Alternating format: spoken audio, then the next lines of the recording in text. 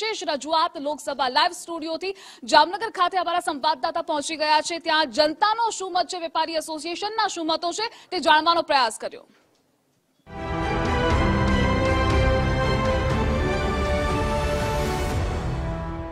નમસ્કાર. લોકસભાના live studio સાથે આપનું સ્વાગત કરું છું. લોકસભાનો લાઈવ સ્ટુડિયો લઈ જામનગર આવી પહોંચ્યા છીએ. જામનગરના બ્રાસ પાટ બનાવતા ફેક્ટરી ના જે માલિકો છે ફેક્ટરી ચલાવતા લોકો છે, તેમની સાથે વાત કરીશું કે છેલ્લા પાંચ વર્ષમાં મારી બંને બાજુ દેખાતો જે બ્રાસપાટના કારખાના છે, તેના માલિકો છે, તેમનો કેવો વિકાસ થયો છે.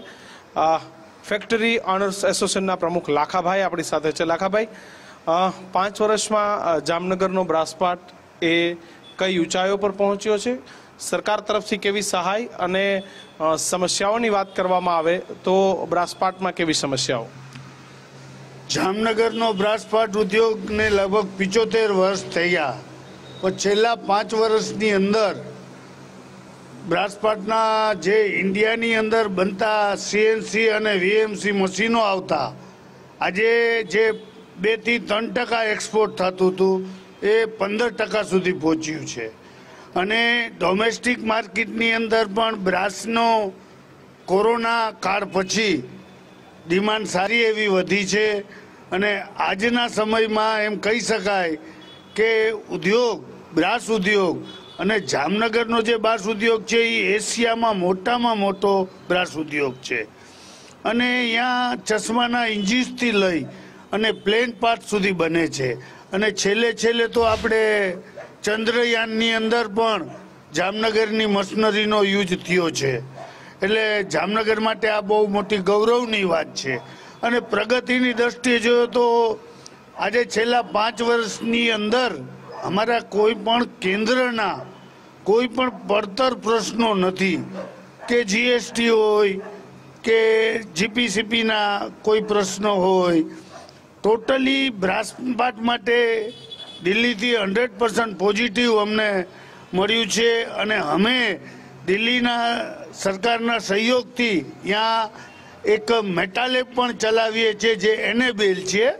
અને આંતરરાષ્ટ્રીય સર્ટિફિકેટ પણ અમે ઇસ્યુ કરી શકીએ છીએ. એટલે જનરલી જોઈએ તો પાંચ વર્ષની અંદર આ સરકારમાં અમારા બ્રાસપાટ ઉપર પૂરું ધ્યાન દેવામાં આવ્યું છે. અને બ્રાસને મોટામાં મોટી ખુશીની વાત છે કે અમને ક્લસ્ટર આપ્યું છે. એટલે હવે અમારું લાખાભાઈ ઇન્ફ્રાસ્ટ્રક્ચર ને પાયા પાયાની સુવિધાઓ? છેલ્લા પાંચ વર્ષની અંદર જે સુવિધાઓ પહેલાં નથી, રોડ, રસ્તા, ગટરો, એ પણ સીઆરપી પ્રોજેક્ટની હેઠળ અને સરકારે પોતાના નેજા હેઠળ પણ ઘણી જે જીઆઈડીયુસોમાં કામ કર્યા છે જામનગરની. અને અત્યારે જ હમણાં લગભગ બે દિવસ પહેલાં જ પચીસ કરોડ ને ઇઠાસી લાખનો એક પ્રોજેક્ટ રોડ રસ્તાનો ખાતમુહૂર્ત થયેલું છે. એટલે એમ કહી શકાય કે અમારા બ્રાસપાટ ઉદ્યોગ અને જામનગર જીઆઈડીસીના જેટલા પણ જીઆઈડીસીઓ છે, એની અંદર અત્યારે જે ઇન્ફ્રાસ્ટ્રક્ચર ચાલી રહ્યું છે, એ એકદમ સરસ અને જે જે ખામીઓ હતી બધી ધીમે ધીમે બધી દૂર થઈ ગઈ. ઓકે કેવી પરિસ્થિતિ છે ઉદ્યોગની મારી બંને બાજુ કારખાનાઓ હું જોઈ રહ્યો છું? ખરા અર્થમાં કેટલો વિકાસ એ આ કારખાના માલિકોનો અને અહીંના લોકોને કેટલો ફાયદો એ આ બ્રાસપાટના ઉદ્યોગથી થયો છે? પાંચ વર્ષમાં કેન્દ્રનો કેવો સપોર્ટ રહ્યો અને બીજી કઈ સહાયતાઓ તમે કેન્દ્ર પાસે આવનારા પાંચ વર્ષમાં ઈચ્છો છો?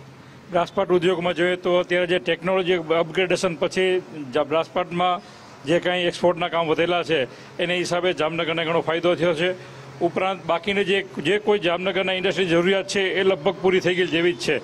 જે કાંઈ ડિમાન્ડ હોય છે, એ ટાઈમમાં સમયસર અમે રજૂઆત કરીએ તે અમને લગભગ બધું સમયસર બધું મળી જાય છે. એટલે કોઈ એવી કોઈ પ્રોબ્લેમ આવતો નથી.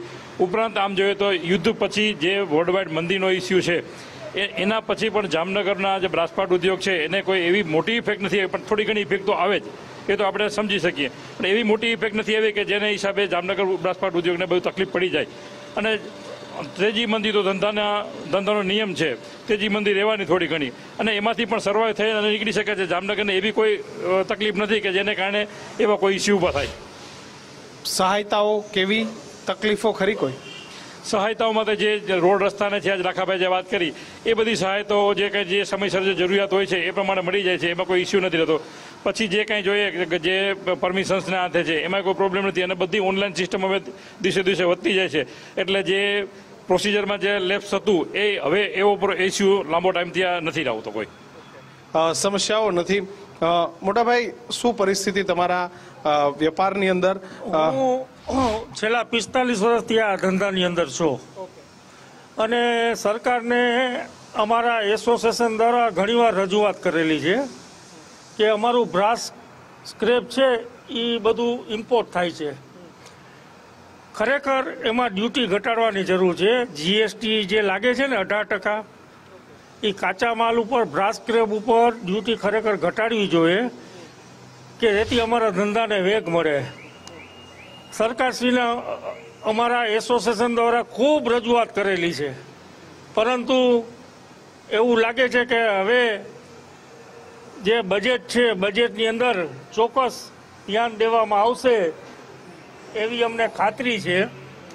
અને બાકી તો સરકારશ્રીની પોલિસીમાં ખરેખર ઘણો બધો સુધારો માગે છે.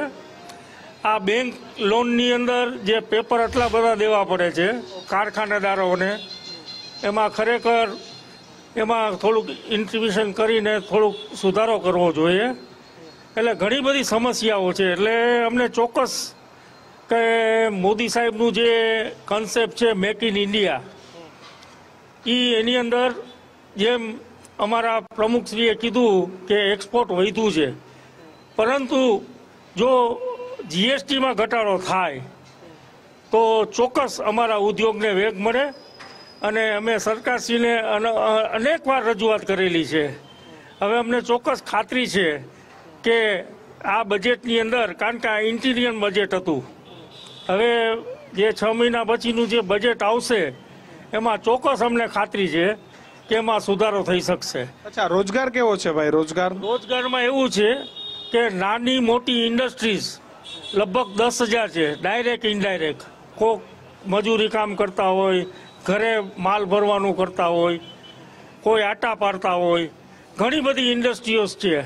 એટલે રોજગાર તો અઢીથી ત્રણ લાખ મજૂરોને રોજીરોટી આપતો આ ઉદ્યોગ છે. અને બ્રાસ સિટી તરીકે જાણીતું છે આ. એટલે સરકારે ચોક્કસ ધ્યાન દેવું જોઈએ આમાં. કારણ કે આટલો રોટી રોટી આપતો ઉદ્યોગ હોય, તો એના માટે સરકારે થોડોક વિચાર કરવો જોઈએ. અમે રજૂઆત તો ઘણી બધી કરી છે, પરંતુ અમને ખાતરી છે કે હવે ઇન્ટિરિયર બજેટની અંદર કોઈક સુધારો આવશે. તો સરકાર પાસે અપેક્ષાઓ પણ છે, ઇન્ટિરિયર બજેટમાં સુધારો આવે, જીએસટી જેવી જે સમસ્યાઓ છે, એમાં ચોક્કસ નિવારણ આવે તેવી માંગ બ્રાસપાટના ઉદ્યોગ સાહસિકો કરી રહ્યા છે. એકંદરે વિકાસ છે, પરંતુ સમસ્યાઓમાં સરકાર ધ્યાન આપે પણ જરૂરી છે. લોકસભાના લાઈવ સ્ટુડિયોમાં હાલ આટલું જ. વધુ સમાચારો માટે જોતા રહો ગુજરાત ફર્સ્ટ. મને આપશો રજા. નમસ્કાર.